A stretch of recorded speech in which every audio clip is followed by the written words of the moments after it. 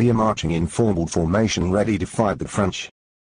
General, maybe we should fight like Indians instead of in formation. No George, I am the general we will march the way I tell you to. Oh no Braddock is hurt. It is now 1756 and I am William Pitt the British governor. I have a strategy to fight against the French. We will fight in North America. Yet we captured Louisburg and Fort Frontenac. It is now 1758. I am an Ohio Valley Native American who just signed a treaty to not fight with the British. I am British and I promise to stay off your land.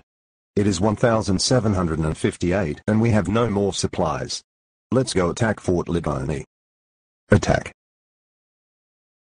Oh no! What a fail.